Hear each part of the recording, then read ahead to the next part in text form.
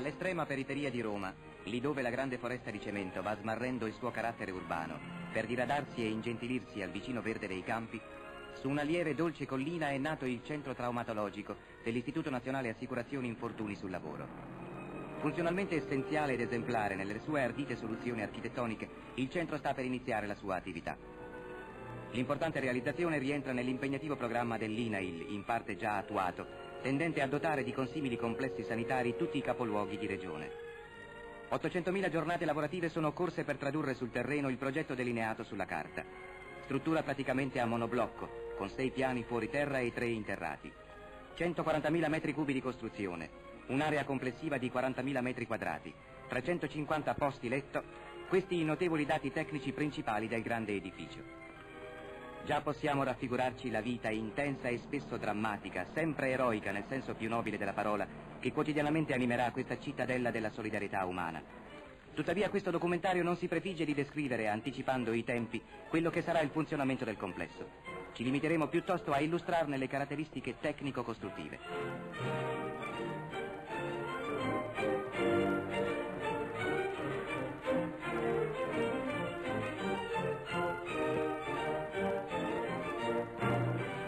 Incominciamo a far conoscenza con gli uomini cui saranno affidati i complessi impianti, da cui dipende il regolare e ordinato ritmo vitale del grande corpo di cemento. Occorre discendere sino alle radici dell'edificio per ammirare l'efficiente modernità di queste attrezzature, alle quali ci si è preoccupati di assicurare un funzionamento assolutamente autonomo. Dalla lavanderia meccanica a ciclo completo, con relativo reparto di disinfezione, ai magazzini viveri, alle centrali idriche ed elettriche, alla stireria al guardaroba e alla cucina.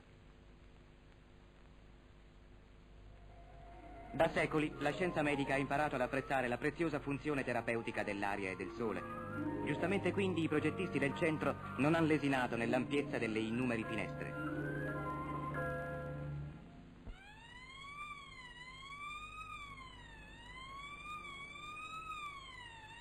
Una cellula fotoelettrica, solerte e invisibile portiere, sovraintende all'accesso del pronto soccorso. L'ambiente nel quale l'infortunato lascia l'autoambulanza è convenientemente riscaldato. Cautela opportuna dato il possibile stato di shock provocato dall'incidente.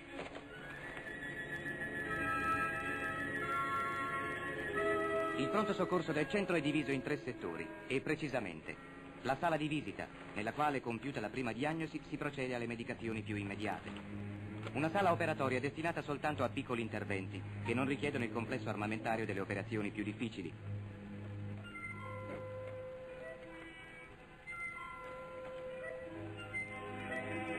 E infine una sala gessi destinata soltanto ai casi di lievi fratture.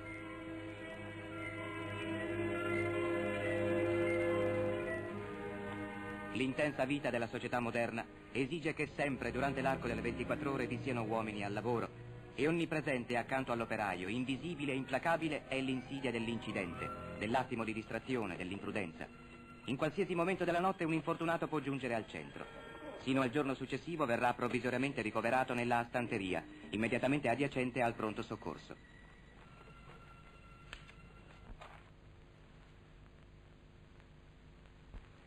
Un'attrezzatura complessa e modernissima caratterizza il reparto di radiologia, costituito da tre sezioni di diagnostica, oltre a una sezione di röntgenterapia.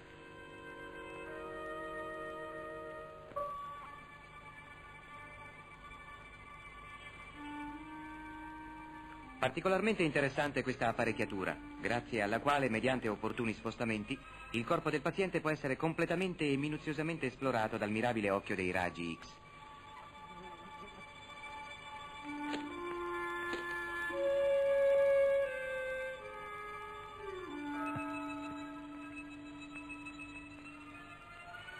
Immediatamente collegata con i reparti diagnostici è un'unica camera oscura perfettamente equipaggiata, nella quale abilissimi tecnici provvedono al rapido sviluppo e fissaggio delle lastre.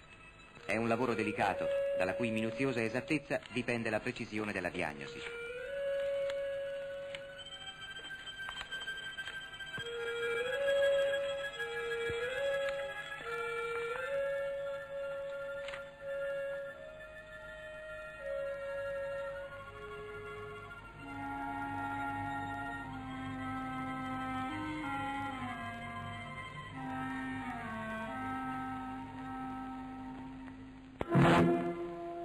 Nella dolorante cronaca degli ospedali, molte sono le pagine dedicate ai casi gravi. I casi nei quali tutto deve procedere con cronometrica precisione e con razionale celerità, perché da questi fattori può dipendere la salvezza di un uomo.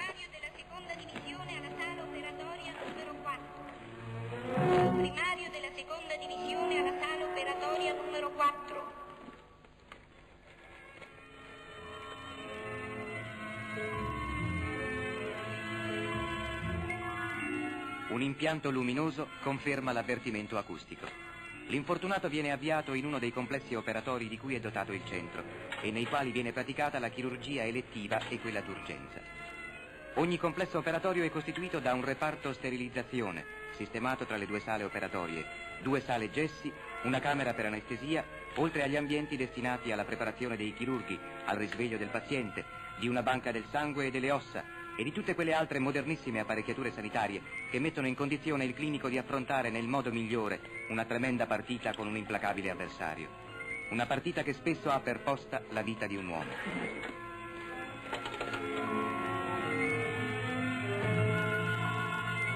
Meticolosi accorgimenti e precauzioni assicurano la più rigorosa asepsi durante l'intervento. Tra queste misure asettiche rientrano i pulsanti a terra che comandano l'apertura delle porte.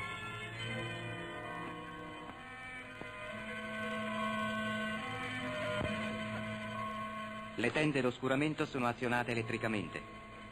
I complessi operatori sono anche forniti di pavimento antideflagrante, di un impianto centralizzato per l'aspirazione sul campo operatorio, di un sistema di distribuzione di gas clinici.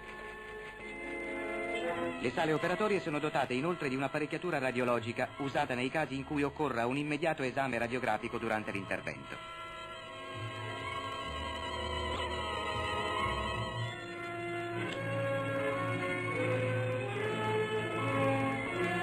Le lastre impressionate vengono, se così possiamo dire, spedite a una contigua camera oscura, sviluppate e mostrate al chirurgo attraverso il negativo scopio. Dalle sale operatorie il paziente, nei casi in cui occorra procedere all'immobilizzazione della parte offesa, può essere immediatamente trasferito alla sala Gessi, nella quale si accede attraverso porte che le rigide leggi della sepsi hanno privato di maniglie.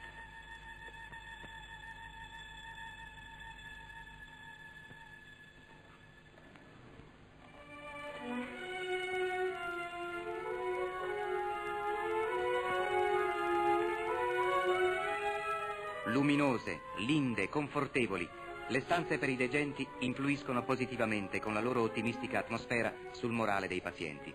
E la medicina sa che la serenità d'animo è un fattore importante sul favorevole decorso del male. Nulla in questi ambienti ci ricorda le tetre e interminabili corsie di altri ospedali. Ogni sezione di degenza è costituita da 30 letti, suddivisi in sale di diversa capienza, ma comunque mai superiori ai 6 letti. Nei casi più gravi, quando occorre una particolare quiete e un'assistenza più assidua, il paziente è sistemato in camere singole, fornite di tende a ossigeno e di aria condizionata. Aria condizionata che ritroviamo in quasi tutti i reparti.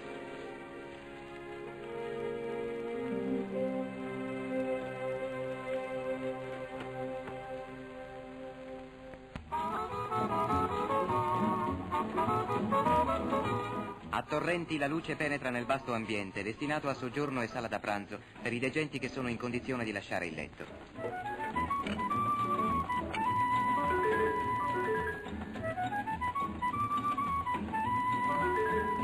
Ma ecco un'ora gradita qui come dappertutto, l'ora del pasto.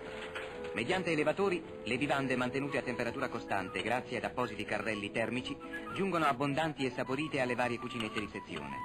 I cuochi anche oggi hanno dato un lusinghiero saggio della loro succulenta arte. Le infermiere provvedono alla distribuzione nelle varie sale di degenza.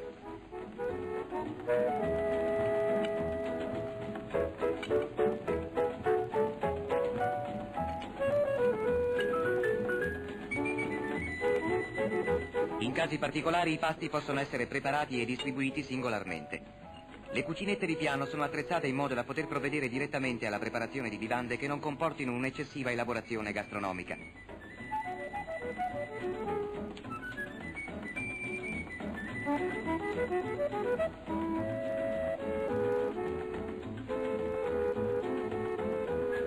Il compiacimento estetico non ha dettato la capricciosa sagoma di questa maniglia, Come possiamo constatare, essa ha un preciso scopo funzionale, che si dimostra utilissimo anche per i degenti che abbiano le mani impedite. A un consimile obiettivo, oltre che a motivi igienici, obbediscono i pulsanti a terra, che comandano i rubinetti dei lavabili. I pulsanti sono in numero di due, in modo da rendere agevole la manovra a tutti i malati, sia che abbiano offeso l'arto inferiore destro come il sinistro.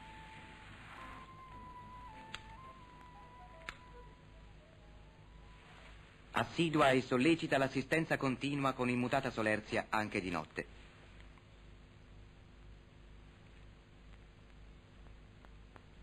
Le infermiere, autentici angeli del dolore, sono sempre pronte ad accorrere per lenire, confortare, curare. Ogni paziente è fornito di un ricevitore radiofonico che presenta la caratteristica di consentire una perfetta audizione anche attraverso un cuscino.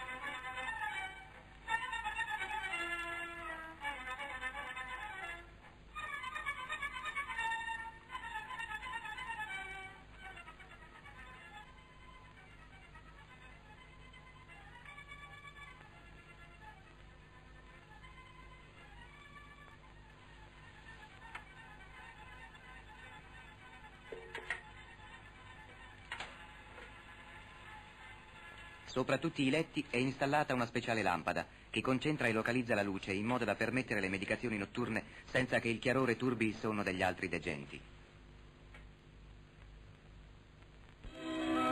Ogni sala di degenza comunica con un terrazzo sul quale i pazienti possono godere di quel prezioso complemento di ogni cura che sono i raggi solari.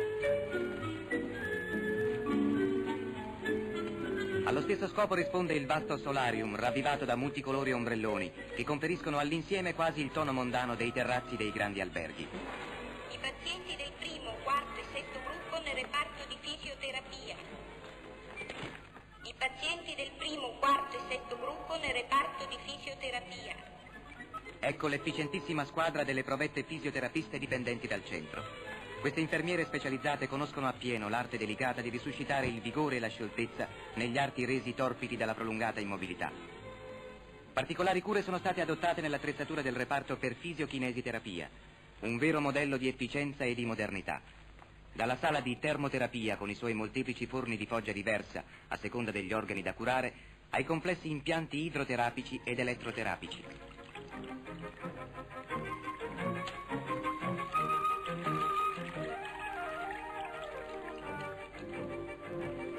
Esitanti, patetici, quasi infantili i primi passi sulla sabbia e nelle vasche, colme d'acqua volta a volta calda e fredda, del paziente che viene razionalmente rieducato alla deambulazione.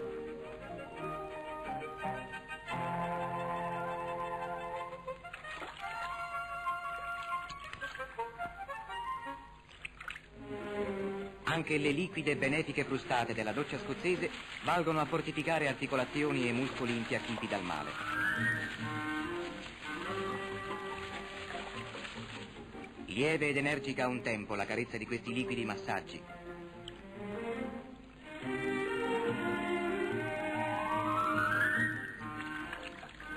In questa vasca con griglia mobile i paraplegici ritroveranno almeno in parte l'utilizzazione delle loro membra paralizzate e potranno tornare a sperare in un domani più clemente. Fa conoscenza con il suo regno, la vasta piscina, il provetto maestro di nuoto.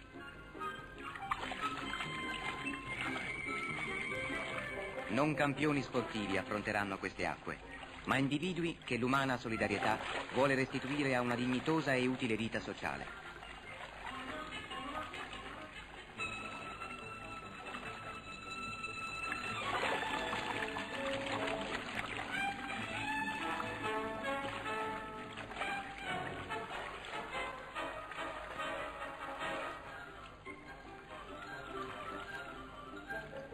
Questa non è una normale palestra. Le fisioterapiste del centro sanno perfettamente come ognuno di questi attrezzi assolva una specifica funzione e come nel loro insieme portino il loro contributo al conseguimento di quella che è la meta comune a tutti qui dentro, la guarigione.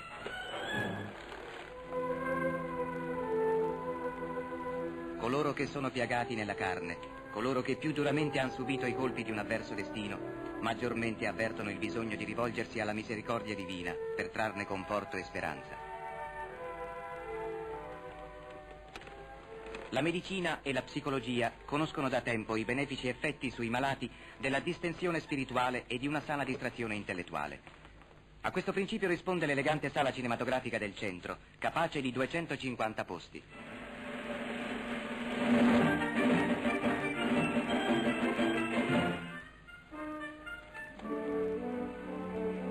Il centro è anche dotato di un'ampia e confortevole sala per congressi, lezioni, conferenze.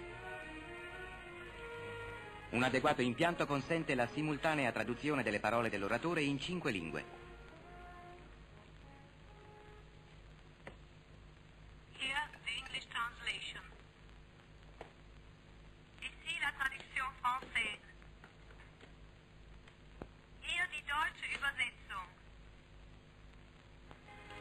Così, in questa bianca cittadella, il medico, con metodi sempre più perfezionati, continuerà a combattere una battaglia antica come la storia dell'uomo, la battaglia contro la sofferenza.